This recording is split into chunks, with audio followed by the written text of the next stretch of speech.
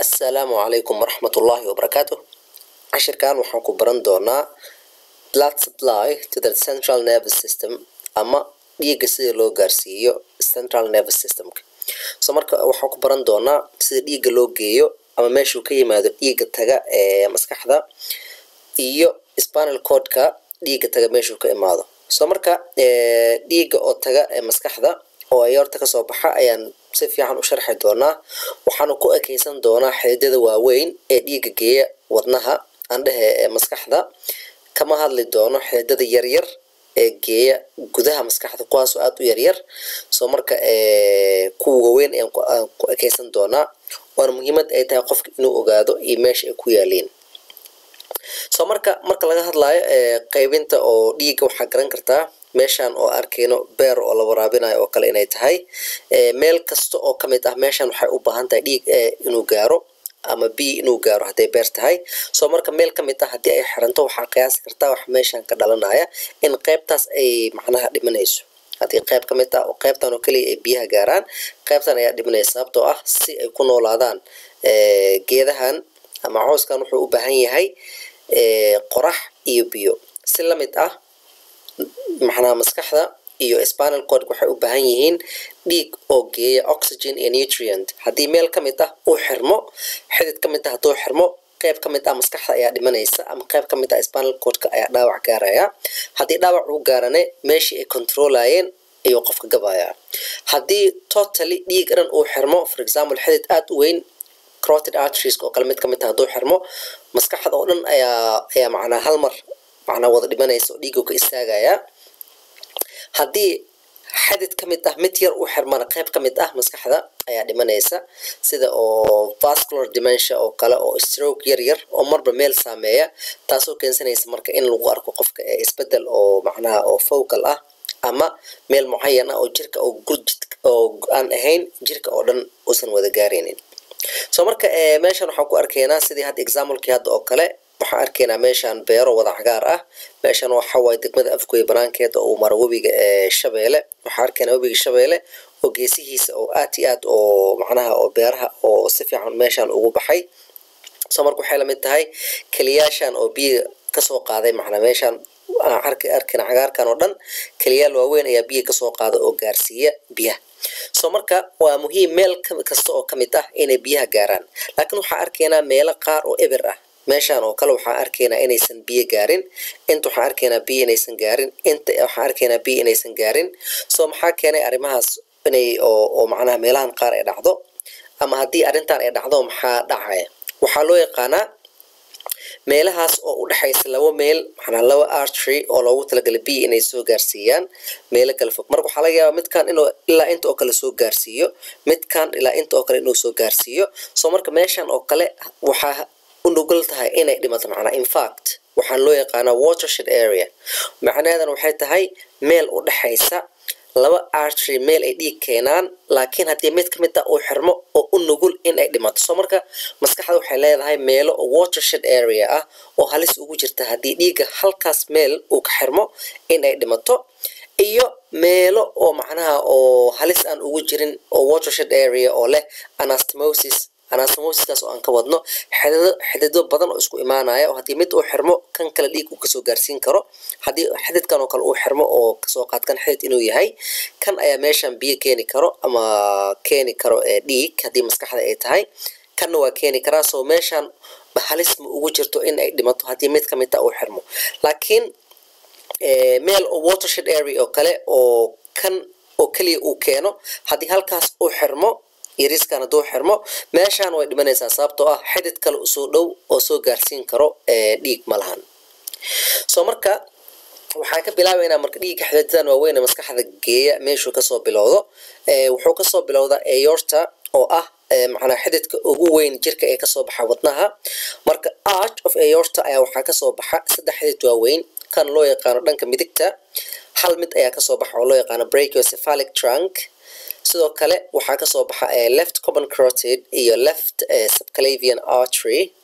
So marka brachiocephalic artery ayaa wuxuu u kala baxaa right subclavian artery iyo right common carotid artery. So isaan arkayna marka right common carotid artery toos ma uga soo baxo wadnaha ee wuxuu ka soo baxa brachiocephalic trunk. Kadib kor ayuu sii aadaa waa arki doonaa meeshuu sii aadayo vertebral arteryga asagan intuu ka imaada aan dhahnay vertebral arterygan oo asaga maskaxa dhiiggay wuxuu ka imaadaa aorta aan u laabano aort markuu meeshaan ka soo baxo brachiocephalic trunk left common carotid subclavian left subclavian iyo right subclavian. So marka vertebral arteryga wuxuu ka soo baxaa halma wuxuu ka soo baxaa right subclavian artery halna wuxuu ka soo baxaa right subclavian macnaa left subclavian artery iyo right subclavian artery ayay ka soo baxaan. Soo arkayna marka waa xidido oo si toosa ugu imaada macnaha arch of aorta ama branchial ka soo baxay. Arch of aorta ayay ka imaadaan. Vertebral artery marka marka uu soo baxo meeshan waxaan arkaynaa waa c t a scan oo ka soo baxay subclavian artery. Markuu kor soo aado cervicalka wuxuu soo dhex maraa macnaa vertebrega oo cervicalka ah. Geesahood ayuu soo maraa macnaa intervertebral framen ayaa loo yaqaanaa. Fremenkaas ayuu soo dhex maraa ilaa uu ka imaado muxuu ahaa macnaa qoorta uu ka soo galo oo meeshan oo maskaxda meesha spinal codka meeshuu ku dhammaanayo oo madalaha ku bilaabanayo oo loo yaqaano fremen magnum ayuu saas gudaha u soo galaya marka. Sa arkayna marka wuxuu ka imaanayaa subclavian arteries labadoodba right iyo left subclavian ay ka imaadaan. Kadibna waxay la soo galaan meesha uu ka soo galayo medalla ama uu ka bilaabanayo oo loo yaqaano fremen magnum ayuu ka soo galaya muxuu ahaa skalka so marka kana arkayno waa common carotidkeed aan ka soo sheekeynaynay. Ayaa laba u sii kala baxaya isagane. Meeshan waxaan dhahnay waa right common carotid iyo left common carotid labadan halkan oo common carotid ayaa laba u kala baxaya mid wuxuu noqonayaa external carotid artery. External carotidka wejiga qaybta externalka ah ayuu dhiig siiyaa. Kan maskaxda aadaya waxaa loo yaqaanaa internal carotid. Internal carotid arteryga ayaa maskaxda tago oo dhiig gaarsiiya so marka sawirkan meeshaan ku arkayno waa internal carotid arteries. Internal carotid arterygii ayaa soo soconaya oo meeshaan aan arkayno. Meeshan waxaa marka uu soo galo skalka wuxuu soo maray macnaha cervicalka skalka iyuu soo dhex maray. Inta ayuu yimid. Inta markuu imaado marka waxaa muhiimadeena ay tahay branchiyaalka meeshaan uu ka bixiyo ayay muhiimadeena tahay. Waxaa kaloo is xasuusinayna marka internal carotid artery marka uu soo maraayo macnaha wuxuu ka soo baxaa meeshan oo dhuunta kor larynx geesihiisa oo kale ayuu laba u kala baxayaa. External carotid artery waxaala lagu garta waxay tahay haddii dissection la sameynayo branchyaal badan ayaa ka soo baxo laakiin internal carotid artery branch ma ka baxo ilaa uu ka soo galaya iskalka. Markii iskalka uu soo galo oo meeshaan arkayno ayaa wuxuu bixiyaa laba branch aada u waaweyn intuu soo galay midkan oo geesaha ku socda oo macnaa kan weyn ah wuxuu noqonayaa middle cerebral artery. Middle cerebral artery waxaa waaye internal carotidka continuation oo ku sii soconayo qaybta hore wuxuu bixinayaa laba artery mid macnaa labadood waxaa loo yaqaanaa anterior cerebral arteries kuwan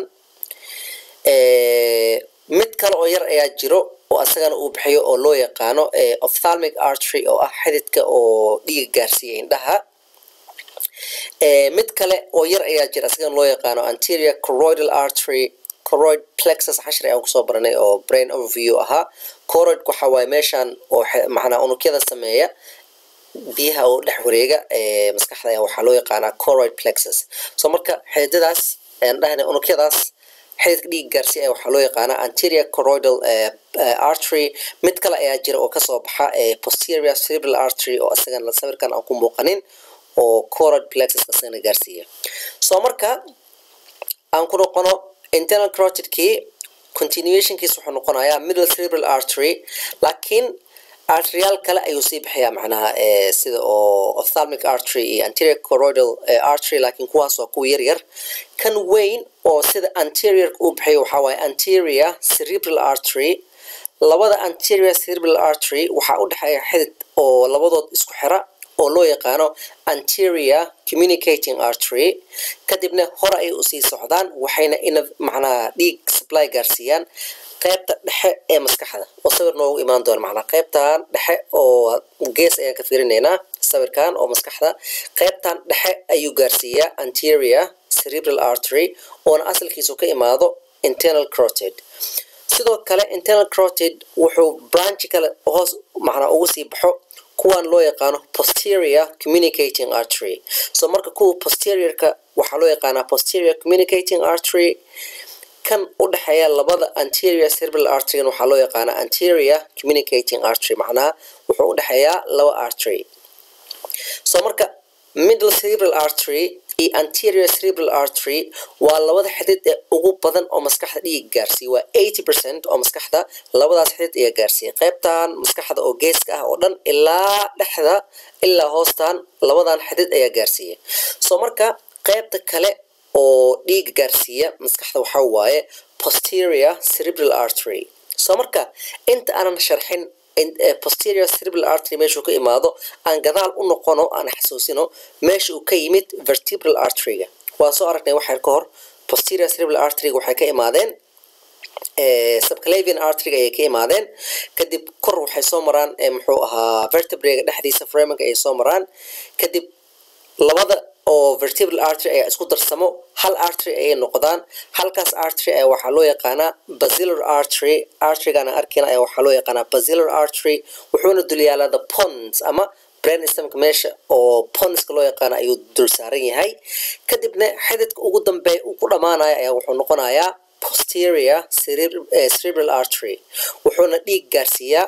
Maskaxda qaybta gadaal oo dhan ayuu dhiig gaarsiiyaa soo marka maskaxda oo dhan waxaa dhiig gaarsiiya internal carotid iyo maxanaha posterior cerebral artery oo asalkiisa ka yimid basilar artery oo asagana ka yimid isku darsanaan isku darsameen labada vertebral artery.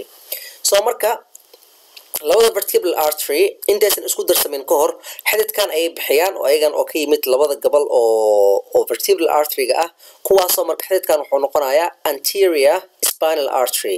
Spinal cordka halka xidid macnaha spinal cordka qaybta anteriorka ah xididka dhiiga siiya ayaa waxay ka imaadaan labada vertebral artery ayay asalkiisa ka soo baxaan. Soo marka basilar artery asagana haddaan fiirino dhowr xidid ayaa ka soo baxaya oo brain stemka muhiim u ah midka oo ugu horreeya oo aan baranayn ayaa wuxuu yahay kan loo yaqaano superior cerebellar artery macnaha cerebellum. Ayadan waxay u baahan tahay macnaha cerebellumka qaybtan waaye. Waxaa dhiig gaarsiiya superior cerebellar artery oo ka hooseeya posterior cerebral artery macnaha cerebral iyo cerebella ayay kala yihiin kan waxaa waa xididka weyn oo uu ku dhammaanayo basilar artery oo qaybtan dambe oo maskaxda gaarsiiya. Kan superior cerebellar artery cerebellumka ayuu gaarsiiyaa dhiig. Marka labadan xab ayaa ka soo baxa. Intan waxaa ka soo baxa xidido badan oo loo yaqaano pontine arteries pontine arterieskana arkeyna marka ayagana waxay dhiig gaarsiiyaan ponska oo meeshan ku yaalla. Xidid kale ayaa jiro oo asana oo cerebellarka gaarsiiya macnaha cerebellarka saddex xidid dhiig ka helaa macnaha kan oo ah superior cerebellar artery kan oo ah anterior inferior cerebellar artery xididkan loo yaqaano anterior inferior cerebellar artery oo asana cerebellumka gaarsiiya iyo mid kale oo loo yaqaano posterior inferior cerebellar artery. Marka haddii lagu weydiiyo cerebellarka ama cerebellum xagee dhiig ka helaa waa saddex xidid superior cerebellar artery anterior inferior cerebellar artery oo loo yaqaano ica iyo posterior inferior cerebellar artery oo loo yaqaano pica pica ica oo inferior ah iyo superior cerebellar artery ayaa gaarsiiya dhiig soo marka waxaan u malaynayaa inaa fahamteen tan kali noo harta waxay tahay inaan sharaxno anastomosiskan muxuu yahay. Hadda waxaa ka hor markii aan sharxaynay xidmeelo oo watershed oo u badan oo laga yaabo xididada ay ku yar yihiin oo hal xidid uu gaarsiinayo iyo meelo xidido badan isku imaanayaan oo haddii mid xataa uu xirmo kan kale uu soo gaarsiin karo. Anastomosiskan ama xididadan badan isku xirxiran oo dhiiga badan oo rijka ah uu ku yaalaya waxaa loo yaqaanaa circle of wills circle of willskan wuxuu ku yaalaa marka dhex bartanka oo muxuu ahaa maskaxda oo bayskeeda ah. Kan oo carotid artery wuxuu ka soo baxaa macnaa meeshan oo loo yaqaano optic chiasmka agtiisa asagoo ka yimaada meesha loo yaqaano cavernous sinus cashir ayaan ku baran doonaa oo aan kaga hadlayno dural sinuses macnaha meningiska oo ku dul wareegsan iyo aan dhehe dural venous sinus mar aan barnayn ayaan baran doonaa. Cavernous sinus waxa uu yahay meeshuu ku yaalo. Meeshaasay ka imaadaan marka meeshaas ayuu ku yaalaa macnaha circle of wales waana xidido isku furfuran oo haddii mid uu xirmo kan kale oo uu soo gaarsiin karo dhiig meeshaas oo kale xubnaha ku yaalo dhiig ma ku yaraanayo laakiin meelo fogfog haddii uu yahay dhiig ayaa ku yaraanayo so marka meeshan waxa waye diagram aan arkayno xididada so waxaan arkaynaa marka anterior cerebral artery oo kale dhaawac hadduu soo gaaro meesha oo halis ay gaari karto maskaxda. Inta waxaan arkaynaa middle cerebral artery qaybtan oo ah gaduudka ama pink waxaa xididkan gaarsiiya middle cerebral artery.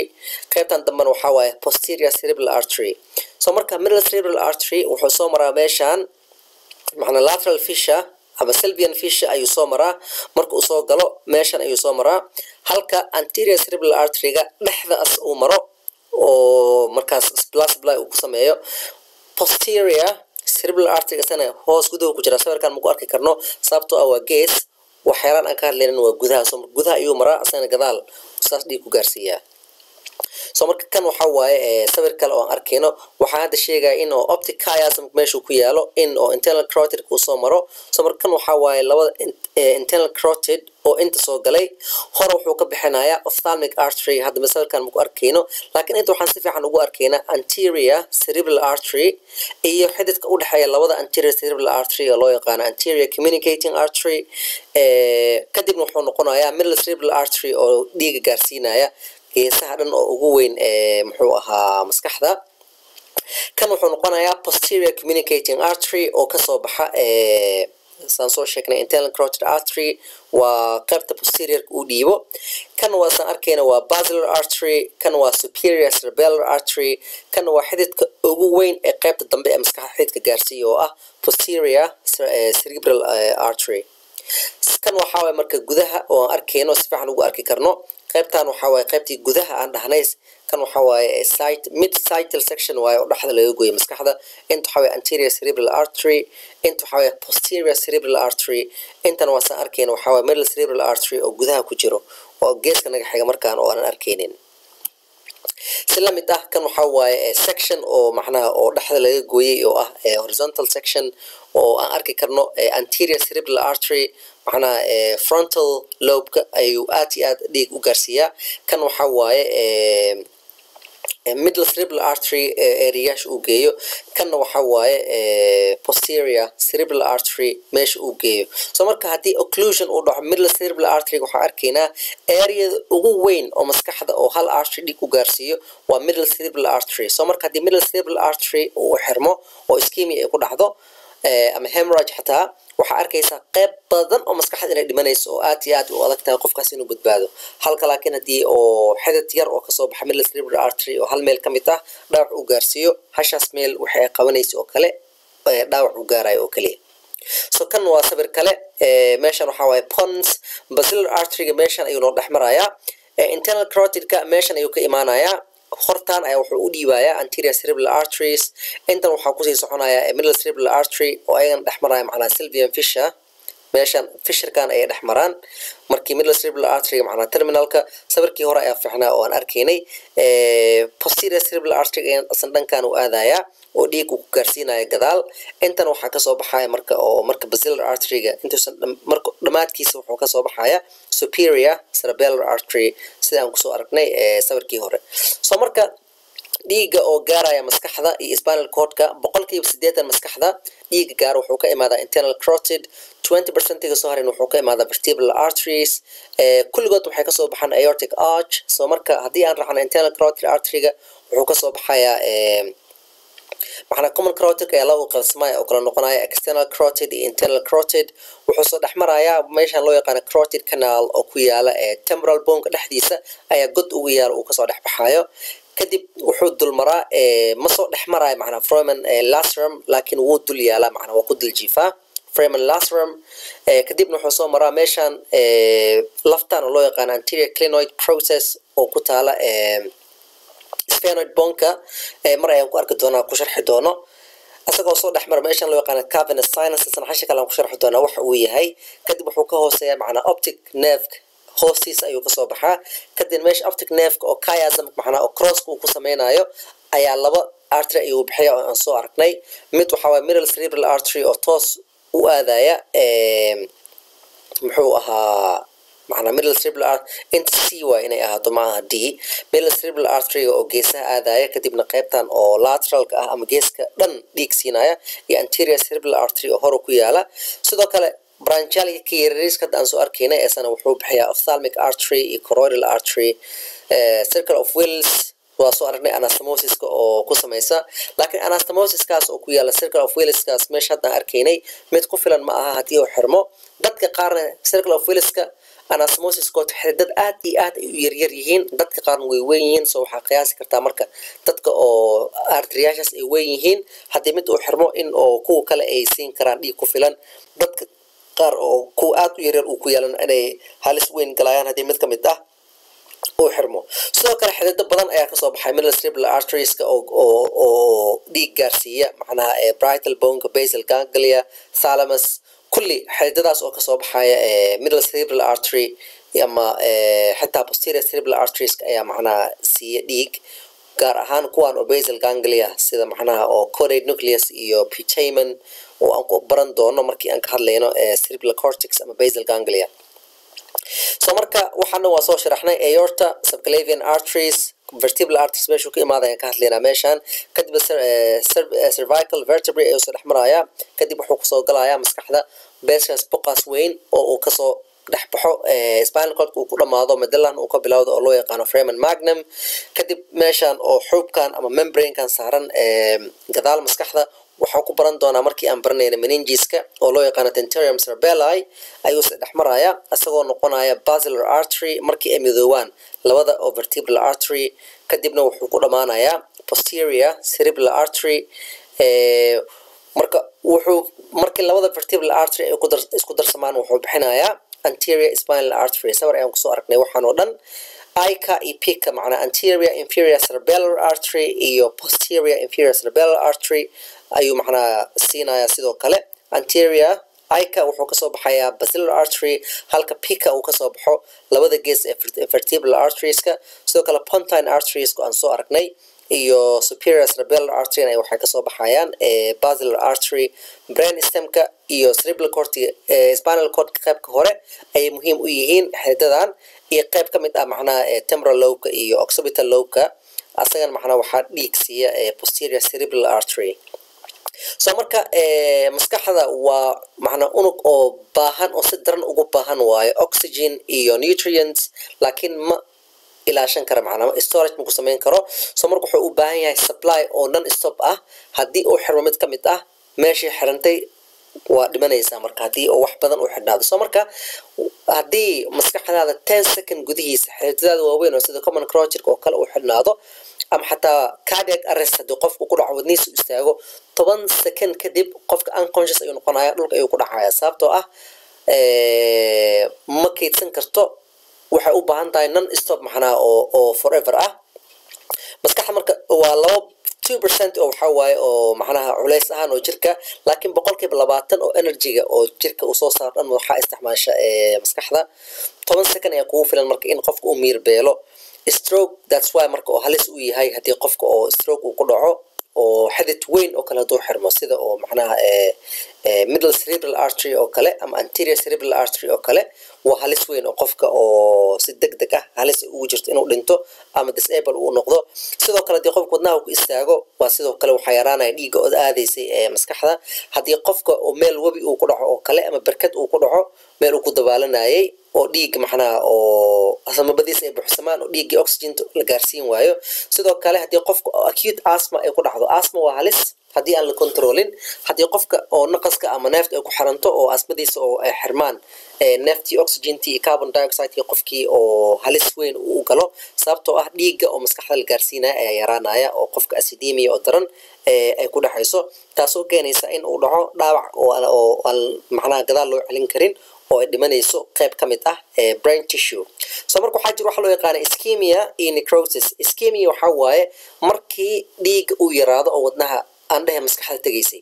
So marka ischemia haddii xididadii deg deg lagu furo waa waa macnaha waa la badbaadin karaa neuronska neuronska iyo cardiac cells dhibaatada ay leedahay waxay tahay haddii ay dhintaan regeneration ma samaynayaan. Haddii beerka qayb ka mid taha la gooyo isla markii beerka wuxuu isku samaynayaa repair oo rukyo cusub ayuu samaynayaa sidoo kale gastrointestinal tract maalintii intaas bilyan oo unug ay sameynayaan oo epithelial cell macnaa regeneration ay sameynayaan.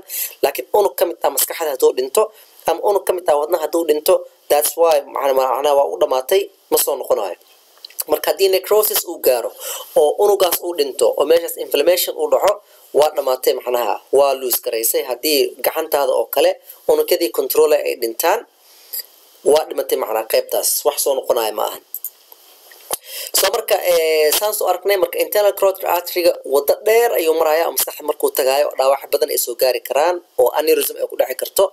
Embly ayaa xiri karto macnaa waxyaala loo yaqaano embolism kaasoo ah in oo ay soo faqdo macnaha waxyaalahan oo muxuu ahaa clotinga clotin inuu dhaco ama xinjir inay xirto internal carotid artery ama internal carotid stenosis xataa inuu dhaco. Macnaha inuu yaraado diameterka oo internal carotid arteryga marka uu si dhex dhuunta ilaa iskalku ku galayo in stenosis uu ku dhaco oo dhiiggii uu gaari waayo maskaxda ama si ku filan oo perfusion ugu samayn waayo. So marka waa soo sharaxnay meesha uu maraayo temporal bone ayuu marayaa foramen lacerum ma dhex maraayo meesha waxaa ku yaalla cartilage wuxuu marayaa temporal boneka kanaal ku dhex yaalla oo ku yaalla temporal bone macnaa kanaal ku yaal ayuu dhex maraa. Kadib markii uu tago meeshan loo yaqaano cavernous sinus boqol iyo degree ayuu sameynaya taasoo laga wado marka kow saan ayuu u safrayaa. Markii uu galo iskalka saas isku wareejinaya macnaa waxaa loo yaqaanaa siphon. Meeshaas saan adoo u socotay oo saas u jiiraysay macnaa boqol iyo sideetan degree ten saaska ayaa laga wadaa. Markii saas uu galo saas ayuu noqonayaa waxaa jiro anatomic variation macnaa kala duwan dadka ay kala duwan yihiin noocyaasha oo xididada macnaa circle of willis hadda aan soo sharaxnay in kuwa qaar oo dadka qaar oo posterior communicating arterygood uu yaryahay iyo macnaa anatomical variation badan ayaa ka jira oo xididada. Markii la lahay macnaa qaybtaas waxaa siinaya anterior cerebral artery qaybtaas middle cerebral artery waaye qaybtaas posterior cerebral artery generalization waaye macnaa waxaa jiro specifically qof walbo waxyar variation oo tishuyaasha qaar oo middle cerebral uu ku imaan karo tishuyaasha qaar uu ka imaan karo posterior cerebral ama tishuyaasha qaar uu ka imaan karo anterior cerebral kuwa qaar uu ka imaan karo middle cerebral. So marka waa in oo oo ku xisaabsantaa markii textbook aa ku arkaysid ama waxaan oo kale lagu sheegayo in variation uu imaan karo. Waxaa kaloo jira marka xididayaal oo dhiig gaarsiiya waxaan loo yaqaana striae arteries. Striae arteries waxaa waaye meel ku dhex taala ee maskaxda oo loo yaqaano basal ganglia iyo thalamuska agtiisa xididada gaarsiiya oo loo yaqaano macnaa internal capsule basal ganglia thalamus origin code marka wuxuu ka soo bixi karaa internal carotid artery mararka qaar wuxuu ka soo baxaa middle cerebral artery. Macnaa xididada gaarsiiya striae arterieska macnaha waxay ka imaan karaan internal carotid artery middle cerebral artery macnaha mar meel ay ka soo baxaan variation ayaa jiro. Waxaa muhiima meeshan internal capsuleka waa meesha ay soo maraan neerfayaasha dhan oo ka yimid cerebral cortexka oo u socda jirka intiisa kale oo macnaha spinal cordka highwayga ay maraan waay marka internal capsulekan waxaan ku baranaya cashir oo brain overview aan ku samayn hataadan aqoon. Ama xataa google search ayaa ku samayn karta hataadan aqoon waxa uu yahay internal capsule oo maskaxda ku yaalla meeshaas marka waxaa waaye highwayga ugu weyn oo meesha ay ka soo baxaan macnaa dhuunta ay ka soo baxaan bottleneck oo kale waaye.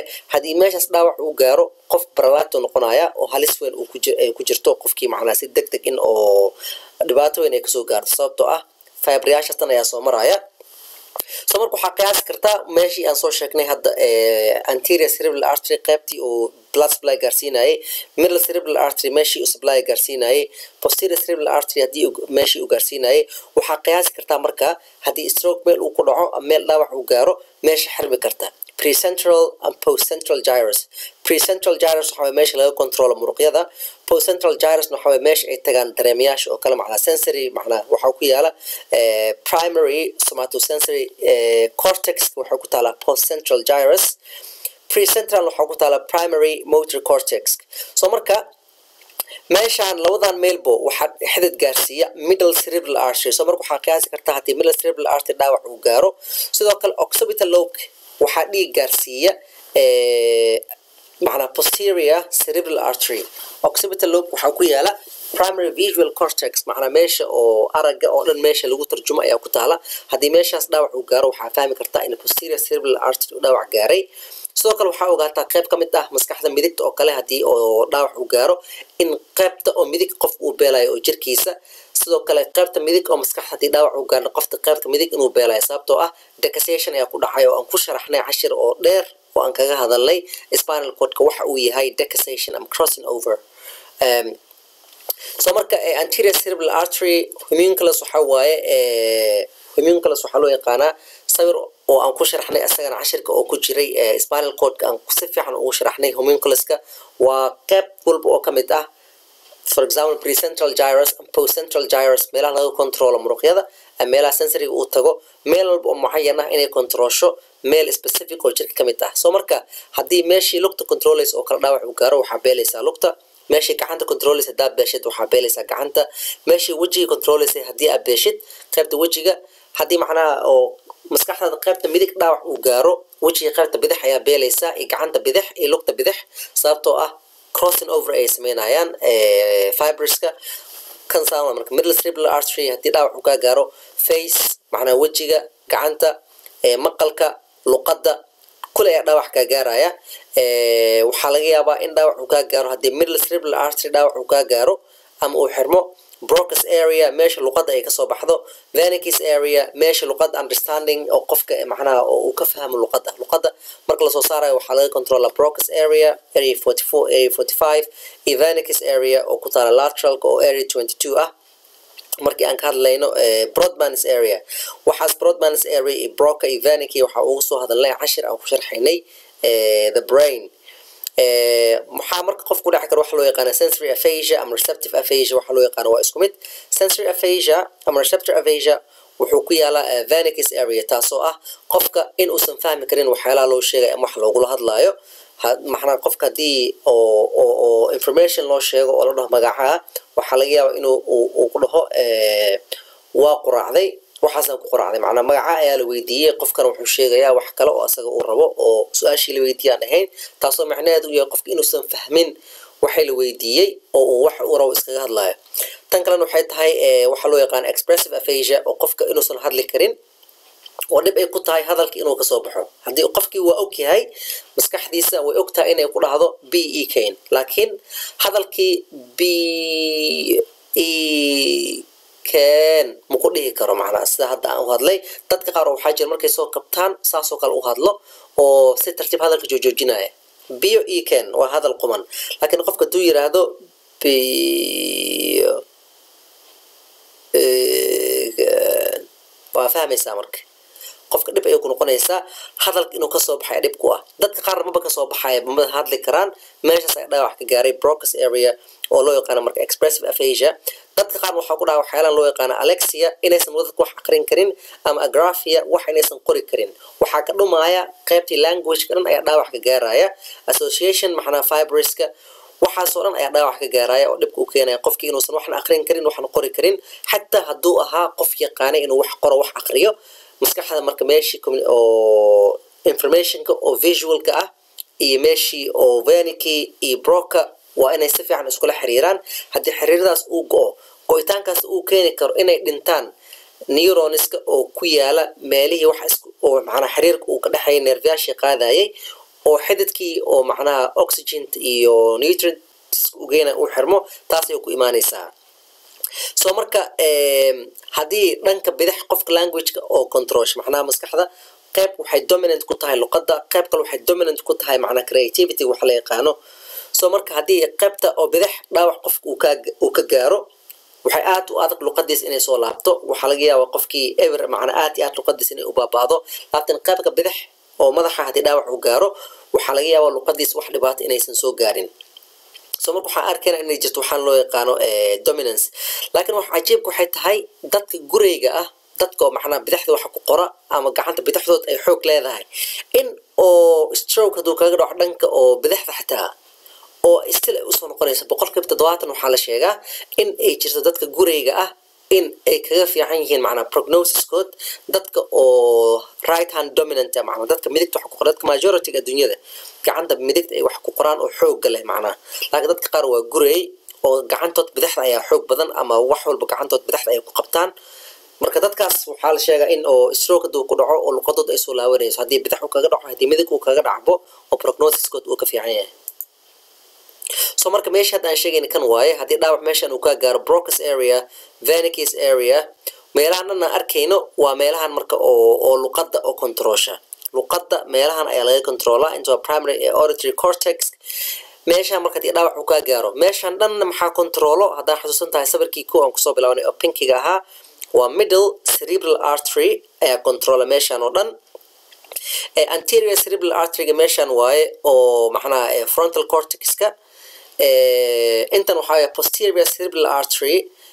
Cerebellumka waxaa waaye anterior aan dhahe superior cerebellar artery oo ka imaanaya basilar artery. Hoostan qaybtan hoosena waxaa gaarsiiya ica iyo pika oan soo sharaxnay waxa ay yihiin. Marka haddaan u imaano spinal codeka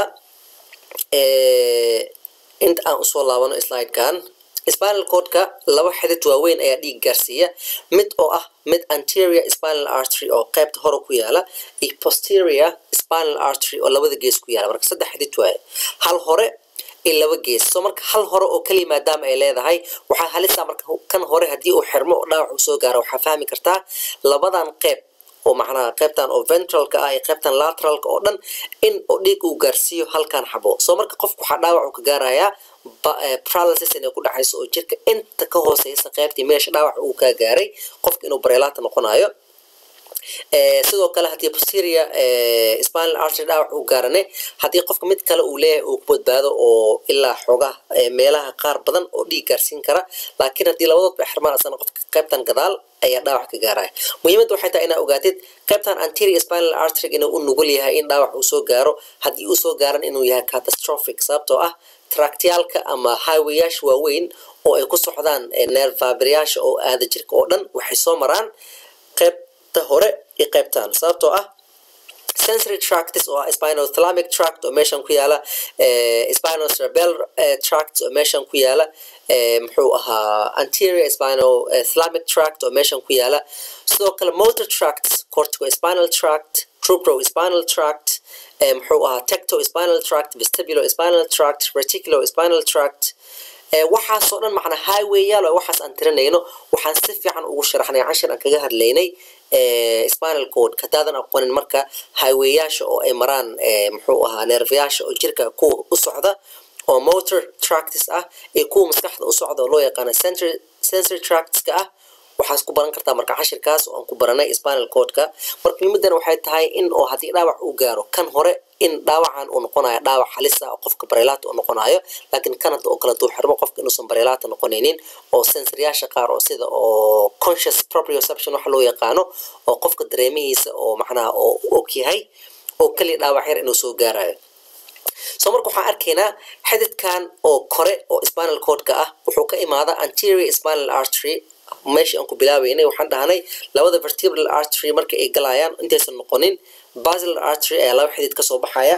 Labadaas xidid oo ka soo baxaya marka vertebral arteryga waxay noqonayaan anterior spinal artery. Posterior spinal artery mararka qaar waxay ka soo baxaan vertebral artery marna waxay ka soo baxaan pika oo ah posterior inferior cerebellar artery oo aan asagana ka soo hadalnay. Oo macnaha ka soo baxa vertebral arteryga ayaa sometimes originkiisa ah mararka qaarna waxaa waaye vertebral artery. Soo marka variation ayaa jiro ama anatomic variation ay leeyihiin. Soo marka xididadan oo anterior spinal artery oo ka imaada vertebral artery iyo labadan oo posterior spinal arteriesku asana ka imaado vertebral artery ama pika kuma filna spinal codeka marka waxay u baahan yihiin in la soo zaa-idiyo oo tubooyin kale oo macnaha lagu taageerayo spinal codeka ay ku soo darsamaan. Tubooyinkan waxay ka imaadaan aorta aort markuu soo baxo oo oo aortic arch markii uu bixiyo macnaha brachiocephalic trunk common carotid arteries iyo subclavian arteries marka uu bixiyo hoos ayuu aadaa asagoo dhex mara macnaha qaybta dambe oo vertebralka macnaha calooshaada haddii qofka surgery loogu sameeyo lagu arki karo wuxuu dul saaran yahay vertebrae ayuu dul saaran yahay wadnahaaga ee gadaashiisa wadnahaaga iyo samabadaada gadaashiisa marka xabadka uu yahay kadibna hoos ayuu soo socdaa oo gadaal uu ka hooseeyo kelyahaaga kelyahaaga macnaa labada gees ayay ka yaaliin dhexda ayuu ku yaalaa marka wuxuu dul yahay lafdhabarta ama marka ayortahaas oo dhex yaalla jirka dhexdiisa ayaa waxaa ka soo baxaya mid arterial oo segment walbo leh oo dhiig u keenaya anterior spinal artery iyo posterior spinal arterieska oo lagu taageerayo. So marka anterior spinal arteryga waa hal xabo. Labada gees ayuu bixiyaa. Wuxuuna dhiig siiyaa two thirds macnaha two thirds oo ah qaybtan iyo qaybtanbo waxaa dhiig siiya anterior spinal artery. Haddii uu xiro marka waxaa la qiyaas kartaa dhaawac gaaraya in uu daran yahay. Basilar artery oo ah labada xidid marka ay midoobaan oo vertebral arterieska ah oo pontineka dul saaran. Haddii dhaawac uu gaaro asagana brain stemka ayaa dhaawac weyn uu soo gaaraya iyo cerebellumkabo. Sababtoo ah cerebellumka waxaa dhiig gaarsiiya muxuu ahaa ica oo ka soo baxa basilar artery iyo superior cerebellar artery oo asagana ka soo baxa basilar arteryga mid brain waxay leedahay isana blood supply oo isagana oo complex ah. Qaar waxay ka imaadaan posterior cerebral artery oo ah meeshuu ku dhammaado basilar artery iyo superior cerebellar artery. Macnaha superior cerebellar artery waa kan ka horreeya intaas u dhammaanin basilar arteryga. Ponska dhiigood dhan wuxuu ka imaadaa pontine arteries oo ka soo baxa basilar arteryga oo ah kan halka xaba ah oo dul saaran pons. Soo marka haddii basilar arteryga uu ka dhaco anurism oo rupture uu sameeyo ama skemia ay ku dhacdo ponska iyo waxyaalaha uu ku yaalo dhan waxay u nugul yihiin in oo necros uu ku dhaco ay dhintaan. Medalla oblongata asna blood supplygiis waxa waaye complex. Qaybta hore oo medalla waxaa dhiig gaarsiiya anterior spinal artery geesaha waxaa dhiig gaarsiiya vertebral arteries. Gadaasha dambe oo medalahana waxaa gaarsiiya posterior inferior cerebellar artery ama pika spinal codka hal xabo oo hore ayaa ku yaalla laba xabo gadaal hore aan soo aragnay. Marka hadda waxyar kahor waxaa idin sheegay in uu ka soo baxo ayorta xidido oo dhiiga ku taageeraya anterior spinal artery ama posterior spinal artery. Soo marka midka ugu weyn macnaa xidida badan waay ma segment wal midaa ka soo baxaya oo aorta mid intaa ka soo baxaya mid intuu ka soo baxaya mid intuu ka soo baxaya mid intuu ka soo baxaya. Marka hal xidid waxaa jira oo aad u weyn oo aorta ka soo baxa oo medullary arteryga ah magaca gooni ayuu leeyahay. Waxaa loo yaqaanaa artery of adam cavis. Macnaha ama great anterior radicular medullary artery ama arteria radicularis ama anterior magna macnaa magacyo oo waxa waaye oo arterigaas uu leeyahay. Marka haddaa aragtid shay afar magac saddex magac leh waxay ku tilmaamaysaa shaygaas inuu aad iyo aad muhiim u yahay. Sababtoo ah baaritaan badan oo lagu sameeyey oo haddii uu xirmo spinal codka qofka uu noqonayo paralyze. Soo marka xididkaas wuxuu ka soo baxayaa vertebrate t nine ilaa l one ayaa la sheegaa inuu ka soo bixi karo oo medullary artery macnaha oo uu ku soo darsamo anterior spinal artery anterior spinal arteryga iyo posterior spinal arteryga uu gaarsiiyo dhiigga. Soo marka lower two third spinal codka haddii saddex qayb loo qeybiyo labada qayb oo hoos oo dhan dhiigga ugu weyn waxaa u keena marka artery of adam cavis haddii arterygaas dhaawac u gaaro waxaa qiyaasi kartaa marka in oo dhaawac weyn u soo gaari karo spinal codka oo qofka paralysis uu noqon karo. Sababtoo ah tractiyaalkii dhan ayaa dhimanaya oo dhaawac u soo gaari karo waxaa dhimanaya spinothalamic tract oo ah meesha oo qaado dareemayaasha oo qofka oo xanuunka kulayl qaboob crude touch. Waxaasoo dhan spinothalamic tract ayaa dhimanaya cortico spinal tract oo ah meesha ay soo maraan neerfayaasha oo wada muxuu ahaa neer fabrisk oo wada macnaha skeletal muscle oo voluntary muscle control oo dhan meesha ay soo maraan ayaa dhimanaya qofka marka partial oo wuxuu noqonayaa paralysis macnaha sidoo kale in oo qofka oo kaadi heystiisa iyo calooshiisa kule isku darsamaan oo kaadidii iyo saxaradii qofka u luus garaya controlkood sababtoo ah waxay maraan ayagana sidoo kale muxuu ahaa terminal branch ay ku dhamaadaan oo spinal corka ay ka soo baxaan sympathetic parasympathetic controlka iyo skeletal musclekaba dhammaantood. Soo marka halkan artery marka xasuusnow medullary arterieska waa segmental. Kan ugu muhiimsan wuxuu yahay artery of adam cavis ama great anterior radicular medullary artery ama arteria radicularis anterior magna. Magacyadaas oo dhan waa iska halkii ayaa laga wadaa. Kan ugu muhiimsan waaye oo medullary segmental arterieskan oo ah oo ayortaha ka soo baxa haddii uu xirmo oo dhiig u soo gaarsiin waayane waxaa dhimanaya two thirds spinal cord qofkiina baralaad ayuu noqonaya soo tan wax kale waxaa arkaysaa medullary artery oo ah arteriyaashan oo xoojinaya macnaha anterior spinal artery iyo posterior spinal arteryga in markii ay imaadaan ay soo raacaan spinal nerveka intervertebral macnaha meesha udhexaysa labada vertebrae ayay soo dhex maraan. Kadibna laba gobol ay iskula qaybiyaa saan arkayno qaybtan wuxuu siinayaa anterior spinal artery laba ay u kala qaysaya marka. Kan wuxuu xoojinayaa posterior spinal artery. Sidoo kale kan aan arkayno anterior spinal arteryna qayb ayuu geenayaa. Qaybna wuxuu geenayaa posterior spinal artery oo dhowr level ah. Inta mid kale ayaa ku yaalla oo inta imaanaya oo qayb kale spinal cord inta siinaya kor iyo hoos. Saas waaye marka. Cashirka marka meeshaasu noogu dhamaaday cashirka kale waxaan ku baran doonaa hadduu alla idmo. Dural macnaa meningiska iyo vainska oo ku yaalla maskaxda iyo dhiigga sida loogu soo qaado hadduu alla idmo wasalaamu calaykum waraxmatullaahi wabarakaatu